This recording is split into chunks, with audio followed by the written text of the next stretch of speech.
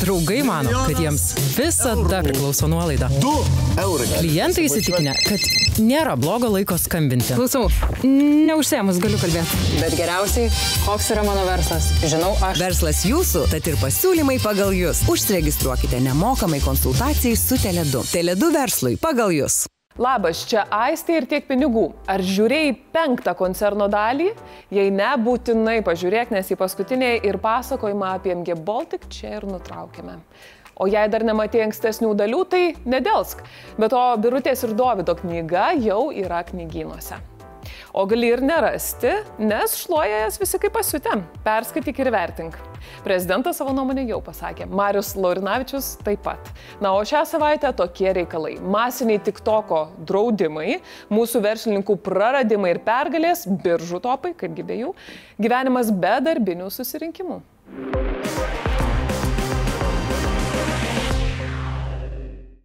Europos institucijose dirbantieji tik tokinti daugiau nebegalės, bent jau iš tarnybinių telefonų.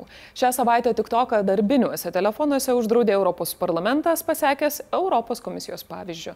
Ta pati daro ir Europos vadovų taryba. Žodžiu, trys reikšmingiausios Europos institucijos tik tokui tarė griežtą ne. Nors kinai prisiekinėja, kad su TikToku viskas gerai, vakarai nelabai įstikė. Baiminasi, kad vartotojų duomenys nutekės Pekino režimui. Europos institucijų pavyzdžių iškart pasiekė Danai. Šalies parlamente visų darbuotojų buvo paprašyta ištrinti TikTok programėlę iš darbinių telefonų dėl šnipinėjimo pavojaus. Jie ne vieninteliai. Ta pati padarė ir Kanada. Vyriausybės darbuotojams liepta TikToką pamiršti. Ir amerikiečiai, kas be ko. Baltieji rūmai pirmadienį uždraudė TikTok patenkinti visuose vyriausybė išduotose įrenginiuose. Ir tik tok, tik tok laikas tiksi. Federalinių agentūrų darbuotojams davė 30 dienų laikotarpį programėlį ištrinti. Žodžiu, liko dar mėno šokių pokių, o tada jau viskas. Beliks tik Facebook'e ar Instagram'e su senukais neršti. Kinams, aišku, toks tonas nepatiko. Amerikiečių sprendimas iš karto užkliuvo. Vašingtonas buvo apkaltintas užsienio įmonių diskriminacija ir rinkos ekonomikos sažiningos konkurencijos principų nepaisimu. Nors tik tokas, kaip socialinė medija išgyvena aukštumas, o reklamdaviai ten tiesiog plūsta. Tačiau yra ir kita medalio pusė. Ne vienas tyrimas atskleidė, kad tik tokas seka kiekvieną tavo žingsnį ir gali išsiaiškinti slaptažodžius, banko kortelių duomenis ir lokaciją. JAV pareigūnai pareigūnai taip pat nekarta atvirų tekstų TikTok vadino grėsme. 2020-aisiais prezidentas Bidenas sakė, kad TikTok yra susirūpinimą keliantis klausimas, nors praėjusį mėnesį teigė, kad nėra tikras, ar draudimas yra teisingas. Jei prezidentas mėtosi, tai atstovų rūmų užsienio reikalų komiteto pirmininkas Michaelas Makolas išsireiškė griežčiau. Pasakė, kad TikTokas yra Kinijos komunistų partijos galinės durys į Amerikos telefonus. FTB vadovas Krisas Vrajus taip pat garsiai suabejojo TikToko saugumu. Jei jungtinėse valstijose TikTok draudimas seks pagal planą, analitikai spėja, kad iš to išloš kiti socialinių medijų žaidėjai, kurių rinkos dalį TikTokas nusirbė. Jei konkrečiau laimės Facebook, Snapchat ir YouTube. Kol visi skuba tik toko uždrausti, mes kinų socialinės platformos grėsmės irgi pripažįstame, bet apie jokius draudimus kol kas negirdėti. Tiesa, kalbos apie tai jau įsibėgėja. Krašto apsaugos ministerija sako, kad pagrindo drausti kol kas nemato, bet naudotis tik toku jau nerekomenduoja. Tuo tarpu Nacionalinio saugumo ir gynybos komiteto pirmininkas Laurinas Kaščiūnas sako, kad tarnybiniuose telefonuose tik toko būti neturėtų. Toliau tęsiant draudimų temą, tai žingsnių prieš savo vartotojus imasi ir pats TikTok. Tiesa, ne prieš visus, tik prieš nepilnamečius. Trečiadienį TikTok paskelbė, kad netrukus kiekvieno jaunesnio nei 18 metų vartotojo paskyroje bus nustatytas vienos valandos ekrano laiko limitas per dieną. Toks sprendimas priimtas norint pažaboti besaikį jaunuolių skrolinimą. Nes kaip ten sako, duok vaikų žuvį ir jis bus sotus dieną, duok meškerę ir jis bus sotus visą gyvenimą įjungiam tik toką ir vaikas iš vis pamirš, kad reikia valgyti. 2022 išbandymų metai verslui. Reikėjo atsigauti po pandemijos, tada smogė karas Ukrainoje, teko priminėti sprendimus, kaip elgti su verslu Rusijoje ir visą tai dar lydėjo energijos kainų kosminis šuolis. Apžvelkime, kaip sekėsi mūsų verslams praėjusiais metais. Kaip sako, geriau pradėti nuo blogos naujienos, o tada pereiti prie geros. Tai aš taip ir padarysiu. Pirmiausia, aptarsiu tuos, kuriems metai nebuvo geri. Novaturas - vienas iš tų, kuriems nesisekė. Įmonė patyrė 221 tūkstančio eurų nuostolį, kai dar ankstesniais metais buvo uždirbusi 909 tūkstančius grinojo pelno. Nepaisant to, pelenų ant galvos niekas nesibarsto ir viltys dedamos į šiuos metus. Iš ankstiniai vasaros pardavimai viršijo praėjusių metų rodiklius visose kryptyse. Novaturas ketina uždirbti nuo 1 iki 3 milijonų eurų grynojo pelno. Nuostolį pernai patyrė ir Klaipėdos nafta - 5,5 milijono eurų į minusą. Jeigu reikėtų pasiguosti, tai 2021 buvo dar blogesni, nes nuostolis tada siekė 64 milijonus. Labai prasti metai buvo Rusijos grupės Pol Air, netiesiogiai valdomai šaldytuvų gamybos bendroviai Snaigė. Įmonė patyrė daugiau kaip 5 milijonų eurų nuostolį. Tai beveik trigubai didesnį nei 2021-aisiais. Pasak jos vadovo Mindaugo Sologubo, kritus apyvartą nulėmė karas, brangstantis ištekliai, transportas ir energija. Įmonė šiuo metu vykdo restruktūrizaciją, toliau gamina šaldytuvus, vysto naują pramoninių šaldymo gaminių liniją. Tačiau velnės lypi detalėse. Kompanijai trūksta apivartinių lėšų. Ne kažkuo galėjo pasigirti ir pieno žvaigždės, praėjusiais metais patyrusios beveik tokį patį nuostolį kaip ir snaigė, nors 2021 buvo pelningi ir grinasis pelnas perkopė milijoną. Nors utenos trikotažo pajamos pernai augo daugiau kaip 13 procentų, bendrovė patyrė beveik 3 milijonų eurų nuostolį. O dabar pereikime prie linksmesnės gaidos. Pernai gerai sekėsi bankams. Citadelė Baltijos šalyse uždirbo beveik 51 milijoną eurų grinojo pelno. Tiesa, užpernai pelno būta dar geresnio ir 2022-aisiais jis susitraukė beveik 8 procentais. Šiaulių banko grupė pernai pavarė 15 procentų geriau nei užpernai, uždirbo virš 63 milijonų eurų. Na, o Revolut pelnas viršijo 26 milijonus svarų sterlingų. 2022 Revolutui buvo pirmi metai be nuostolio. Na ir aišku, maisto pramonė. Amber Food apyvarta augo 61 procentų, bet dėl augusių sąnaudų Matijošaičio balniui perduota bendrovė metus užbaigė su nuliniu pelnu. Kokie vadovai toks ir pelnas reikėtų pridurti.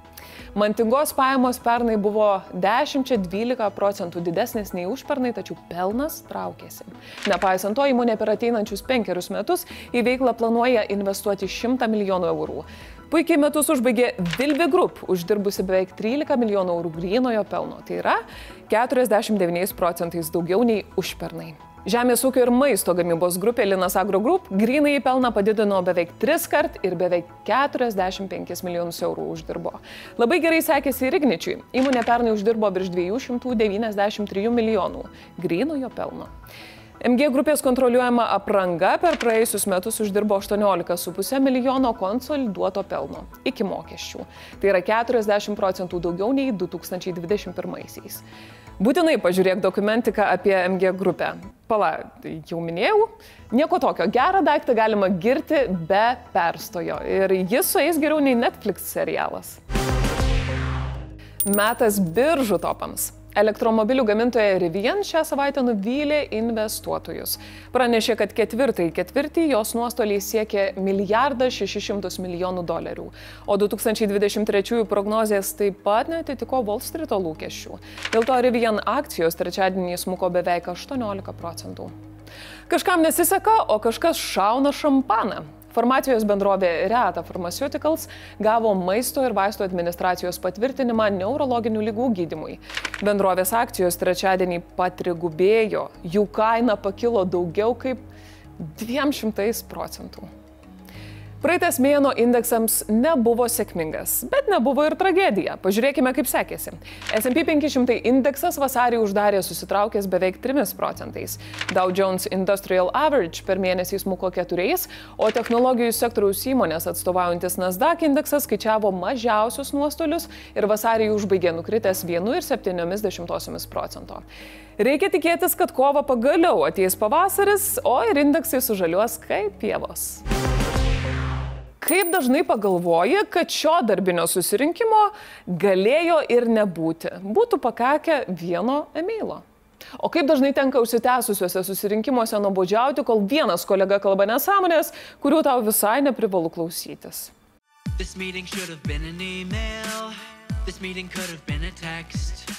Regis viena kompanija šią problemą pastebėjo ir ėmėsi veiksmų.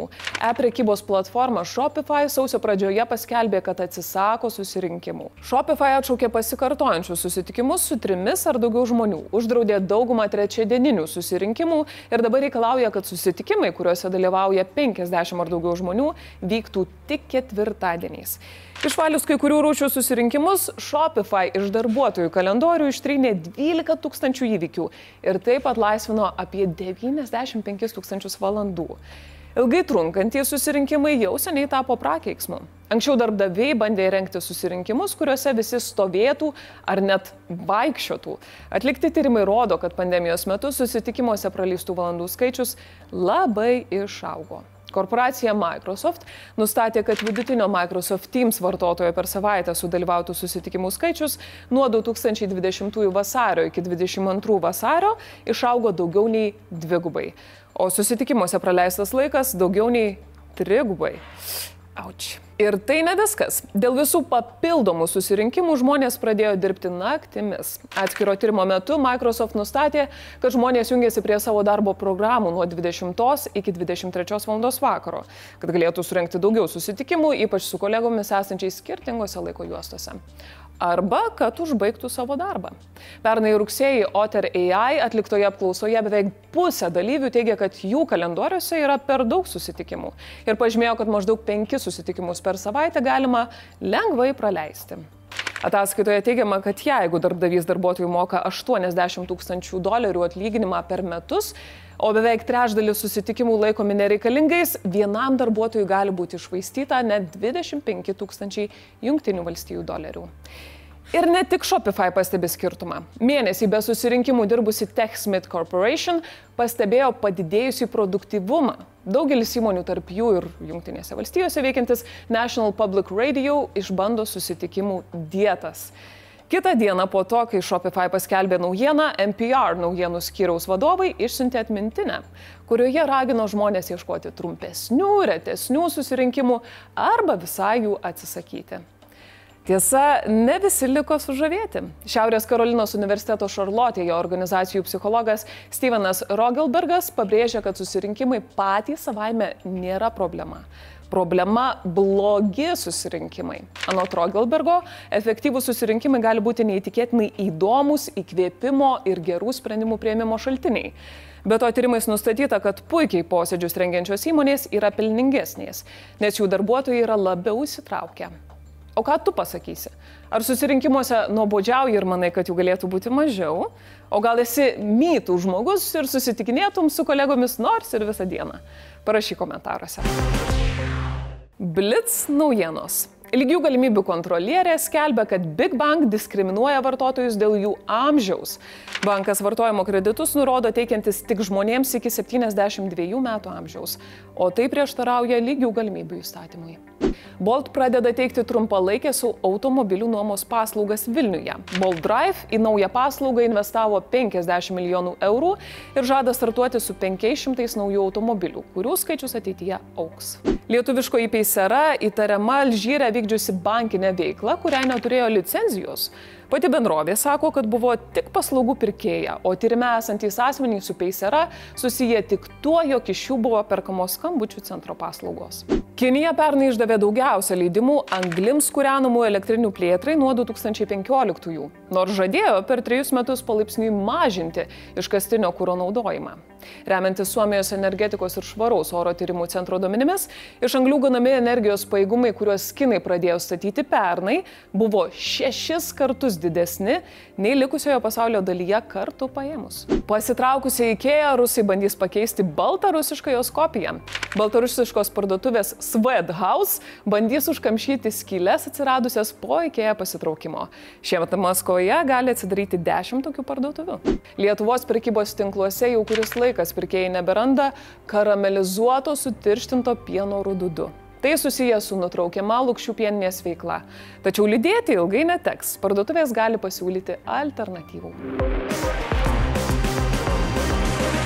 Šiandien tiek pinigų. Nepamiršk pažiūrėti paskutiniosios verslo dokumentikos koncernas penktos dalies, o komentaruose parašyk savo nuomonę apie susirinkimus darbe. Galėtų būti jų mažiau, nes iš jų jokios naudos, o gal kaip tikėsi susirinkimų guru ir produktyvūs mytai tik į naudą. Įsijung tiek pinigų po savaitės. Iki.